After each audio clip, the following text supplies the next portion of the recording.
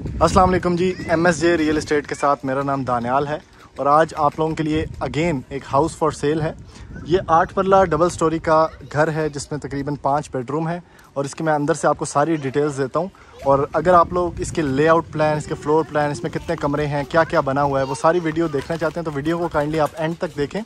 और इस चैनल को सब्सक्राइब करें वीडियो को लाइक करें, ताकि जिसकी ज़रूरत है, जो बंदा ये घर ले सकता है, उसके तक ये वीडियो पहुँच जाए। सबसे पहले मैं बताता चलूँ इसकी प्राइस क्योंकि यहाँ पे जनरली ये घर बना हुआ है Bahria town phase eight Abu block में। यहाँ पर सात मरला प्लाट की जो प्राइस है, वो इस टाइम पर नाइनटी नाइन्टी फाइव है। इससे प्लस भी है और यहाँ पे जो घर सात मरला डबल स्टोरी का मिलता है, वो अराउंड आपको मिलता है दो करोड़ और साठ पैंसठ लाख रुपए के करीब बना, नया घर जो मिलता है आपको।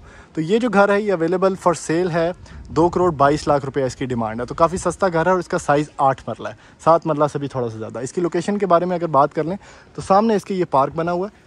ये पार्क फेसिंग घर है। पार्क में आपको थोड़ा सा दिखाता हूँ, साथ आपको स्ट्रीट भी दिखाता हूँ। ये देखें, ये स्ट्रीट इसके सामने है, जो कि तकरीबन तीस फुट है। फुटपाथ यहाँ पे नहीं बने हुए, ये पार्क इसके सामने बना हुआ है और ये लेफ़्ट साइड पे इसके अप्रोच है जहाँ से आप इस घर को अप्रोच कर सकते हैं। मैं आपको अंदर जाके इसकी सारी डिटेल्स देता हूँ। सबसे पहले अगर आप अंदर चलते हैं, ये गेट आप इसका देख सकते हैं जो कि स्लाइडिंग नहीं है। राइट साइड पे आपको इतना एरिया आठ मरला घर के हिसाब से मिलता है जिसको आप हॉर्टिकल्चर वाइज डिवेलप कर सकते हैं। फिर जैसे ही आप लोग अंदर चलते हैं तो ये इसका एक मैसिव कार पोर्च है। मैसिव कार पोर्च का मतलब है कि यहाँ दो गाड़ियाँ बासानी अगर एक बड़ी गाड़ी और एक छोटी, ये दो बड़ी भी खड़ी हो सकती हैं। राइट साइड पे एक गैलरी है, जहाँ पे मोटर लगी हुई है। गैलरी का साइज़ भी अच्छा खासा है। आप लोग देख सकते हैं। फिर जैसे ही आप यहाँ पे देखते हैं तो लेफ़्ट साइड पे एक रास्ता ऊपर की तरफ़ जाता है सेपरेटली यानी ये डबल यूनिट घर है सेपरेटली जाता है। अगर आपके कोई गेस्ट हैं या एक पोर्शन आप रेंट पे देते हैं तो आप यहाँ से बंदा ऊपर जाता है without disrupting the privacy of your house यहाँ पे अगर आप लोग देखते हैं, एक दरवाज़ा ड्राइंग रूम में है, एक दरवाज़ा जो है यहाँ से जाता है। इसके अंदर एंटर हो जाते हैं। जैसे ही आप एंटर होते हैं तो ये आपको एरिया मिलता है जिसको आप डेकोरेट कर सकते हैं as a T V lounge यहाँ पर आप टीवी इंस्टॉल करें. यहाँ पे आपको एटिक के नीचे, यानी ये जो जगह आपको मिलती है, यहाँ पे स्टोरेज स्पेस है. फिर इस जगह को कवर किया गया ताकि डेफिनेटली जो प्राइवेसी है वो डिसरप्ट ना हो आपकी. सीलिंग आप लोग देख सकते हैं शेंडलियर लगा हुआ है. काफ़ी बेसिक सीलिंग है, खूबसूरत सीलिंग है साफ़ सुथरा घर है. टीवी लाउंज का साइज़ साइज़ भी काफ़ी अच्छा है. टीवी लाउंज से बिल्कुल राइट साइड पे अगर आप देखें तो किचन बना हुआ किचन में खूबसूरत फैंसी लाइट्स लगी हुई हैं। कैबिनेट्स आप लोग देख सकते हैं। हुड इंस्टॉल्ड है। वेंटिलेशन के लिए पीछे खिड़की दी गई है। चूल्हा लगा हुआ है। कबर्ड्स में अगर आप लोगों को दिखाऊँ, बिल्कुल साफ़ सुथरी हैं। ये देखें। काफ़ी स्टोरेज स्पेस है। इस घर की कोई भी आप डील बनाना चाहते हैं तो मैं नंबर नीचे आपको दे दूँगा। आप लोग उस पर कॉल करके इस घर की कोई ना कोई डील फाइनलाइज कर सकते हैं हमारे साथ। ये दो कमरे हैं। फिर एक कमरा, ये है जो कि ड्राइंग रूम है। इसमें अगर हम एंटर होते हैं, इसमें बड़ी बड़ी खिड़कियाँ दी गई हैं, जिसमें आपको लाइट मिलती है, जिसमें आपको हवा मिलती है, जो कि काफ़ी यूज़फुल है। दीवार का काम आप लोग देख सकते हैं सीलिंग आप लोग देख सकते हैं ड्राइंग रूम की। फिर ये वही दरवाज़ा है जो बाहर से आप गेस्ट के लिए अप्रोच कर सकते हैं। ड्राइंग रूम में भी एक वॉशरूम दिया गया, क्योंकि इस घर में पाउडर वॉशरूम नहीं है। तो ये पाउडर वॉशरूम है ड्राइंग रूम के अंदर, जिसका आप साइज़ देख सकते हैं, काफ़ी एम्पल है। फिर सामने एक बड़ा शीशा दिया गया। है अगर आप लोगों को ये सही समझ नहीं आता तो आप इसको हटा भी सकते हैं। लेफ़्ट साइड पे एक कमरा है, जिसमें एंटर होते हैं तो आप देख सकते हैं कि इसका साइज़ भी काफ़ी ज़्यादा है। फिर एक खिड़की दी गई है जो पीछे गैलरी में लगती है, क्योंकि ये आठ पर लगा घर है तो इसमें पीछे गैलरी भी दी गई है। दीवार पे आप लोग काम देख सकते हैं कि काफ़ी खूबसूरत इसको बनाया गया अगर सिंपल छोड़ी जाती तो इतनी अच्छी ना होती। फिर ये कबर्ड्स हैं, जहाँ पे आप लोग कपड़े रख सकते हैं। कबर्ड्स कोई बहुत ज़्यादा बड़ी नहीं है, लेकिन फिर भी एम्पल है। अगर कोई बच्चा रह रहा है तो उसके कपड़े आराम से इसमें आ जाएँगे। लेफ़्ट साइड पे अगर आप लोग देखते हैं तो ये वॉशरूम है।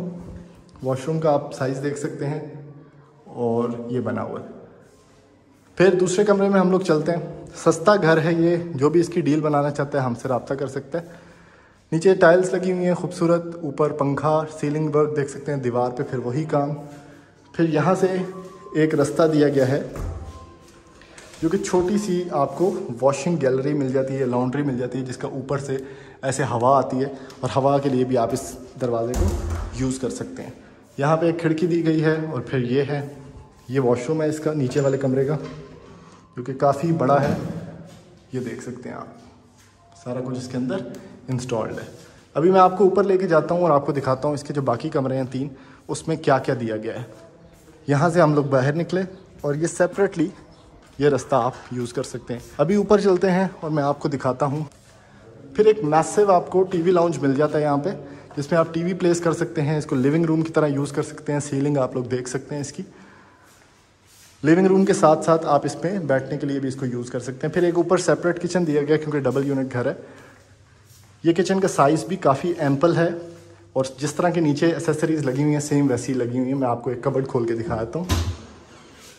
ये हुड लगा हुआ है ये चूल्हा लगा हुआ है। किचन का साइज़ आप लोग दोबारा देख सकते हैं। फिर किचन के साथ से ही आप लोग इसके टेरेस को अप्रोच कर सकते हैं जो कि एक वेंटिलेशन के लिए दूसरा लाइट के लिए काफ़ी एम्पल स्पेस है। ये देखें।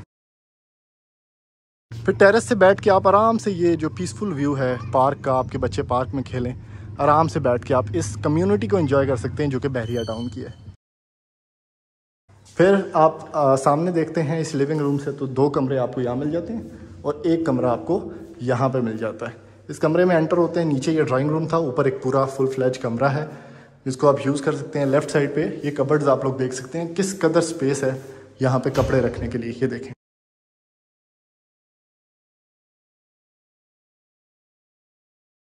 तो कबर्ड भी मज़बूत बनाई गई हैं काफ़ी ज़्यादा। फिर यहाँ से डेफिनेटली फ्रंट पे आपको पार्क का व्यू मिल जाता है।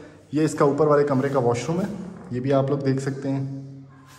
फिर सामने वाले दो कमरों का भी मैं आपको एक जल्दी से क्विक टूर दे देता हूँ, ताकि आप लोग उसको देख सकें। फिर यहाँ से ये स्पेस भी दी गई है लिविंग रूम को, ताकि वेंटिलेशन हवा शवा आप इजीली फील कर सकें।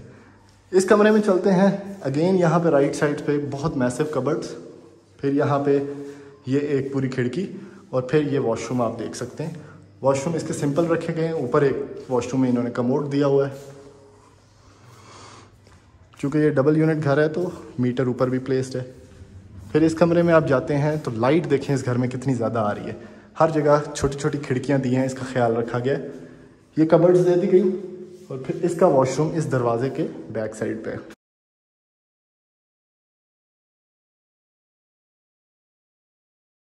तो ये घर मार्केट में व्यूअर्स अवेलेबल है फॉर सेल के लिए कैश के ऊपर। अगर आप में से कोई बंदा भी इसकी डील बनाना चाहता है डिमांड में एक दफ़ा दोबारा बताता हूँ। दो करोड़ बाईस लाख रुपया इस पार्क फेस घर की डिमांड है। यहाँ पे पाँच मरला घर भी अगर आप लेने जाएँ तो तकरीबन एक अस्सी पचासी में मिलता है। ये आठ मरला का घर आपको मिल रहा है इतने पैसों में। तो अगर आप कोई भी इसकी डील बनाना चाहते हैं, हमारा नंबर आपको नीचे शो हो रहा होगा। आप उस पर कॉल करके इसकी कोई ना कोई डील बना सकते हैं। ऐसी मजीद वीडियोज़ देखने के लिए आप हमारा चैनल सब्सक्राइब करें, वीडियो को ज़्यादा से ज़्यादा लाइक करें, शेयर करें, ताकि मैक्सिमम लोगों तक ये इन्फॉर्मेशन पहुँच सके। Thank you. अल्लाह हाफिज़।